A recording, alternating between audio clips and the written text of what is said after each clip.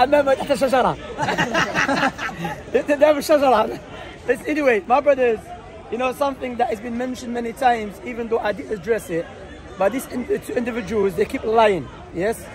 And even though the brother, he's not around anymore, may Allah give him tawfiq, yeah? Ali Dawah and Mohammed Hijab, both them lies against us, and they will say, the brothers punched a Muslim. Look, look, look. This is the, the this is the, the Zionist way to make the Muslim look bad. So these two individuals, exactly they're doing the Zionist way to make the Muslim look bad. They say a Muslim, they punch a Muslim. If you hear someone punch a Muslim, of course we are brothers. How are you gonna punch it? But there people are kadabun, they are dajjalun, liars. Because what happened? This brother Ahmed Ali, he's not around anymore. May Allah give him tawfiq. May Allah give him hidayah all of us. Anyway, this individual, I was praying on the other side with Anwar. That brother was Anwar, yes? On the other side, me and Anwar and the brothers we were praying. So Anwar finished before me the side because we got late. And while I'm praying, he tried to attack me. So Anwar stopped him and he tried to punch Anwar. So Anwar had to defend himself. Anwar had to defend himself. So these two liars, they need to make it over openly for lying against us. You understand? It's a lie that the reason I'm mentioning it today, yesterday a brother approached me. He said, Is it true that you lot punch a Muslim? I said, Look, this Zionist way to make Muslim look bad. Say, so I said, No, it, it, they didn't tell you the, the, the, full story. You understand? They didn't tell you the full story. The full story, this individual tried to attack me, Anwar tried to stop him. Then he tried to attack Anwar, Anwar had to defend himself. Islamically, according to any legislation, if someone try to attack you, allow you're to protect yourself. But Al Sunnah Jama'ah, they're not allowed, no. Only Al Sunnah Jama'ah. You know? So are liars, need to make tawbah to Allah subhanahu wa ta'ala. So this is the full story.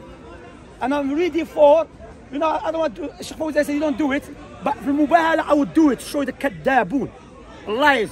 If you want to debate someone, or you want to argue with someone, عندك صدق يا أخي, be honest.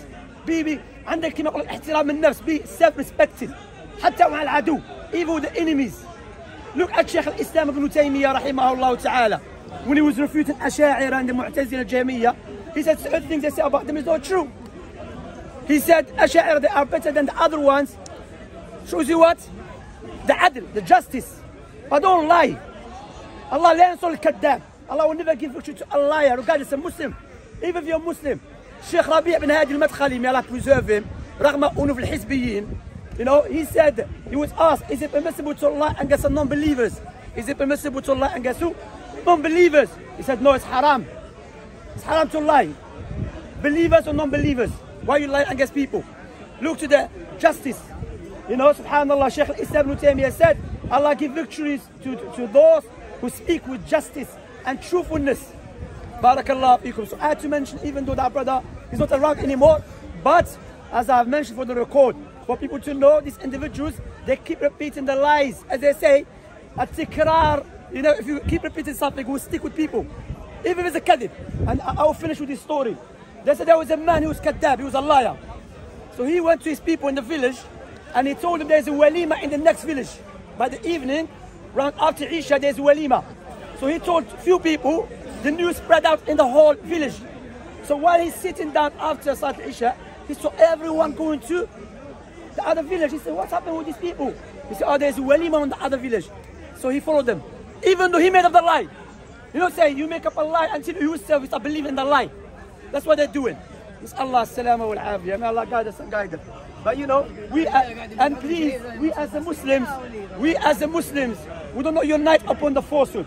هذا اخوه يقول لك اجتمع لا نجتمع على الباطل نجتمع على القران والسنة منهج سلف الامه we unite upon the Quran the sunnah and the way of the salaf that's how we unite as for اجتماع الباطل بالحق بالباطل may Allah curse it we do not unite mixing the truth with the falsehood بارك الله فيكم and regardless the Christians and the Jewish and the atheists are not criteria oh they're gonna think Muslims will not unite I don't care what they're gonna think why I care about Allah تبارك وتعالى you know if the Mus if the Salaf the Sahaba and their students had the mentality, the mentality of some Muslims now, well, our deal will be corrupted long time ago. Uh, please don't speak out because you know they think we're not united. This is some Manchester United business. هذه يا أخي the truth is about القرآن والسنة والسلف الصالح رضي من رضي وسخط من سخط. Understand? بارك الله فيكم. Look for uh, someone to give shahada الله.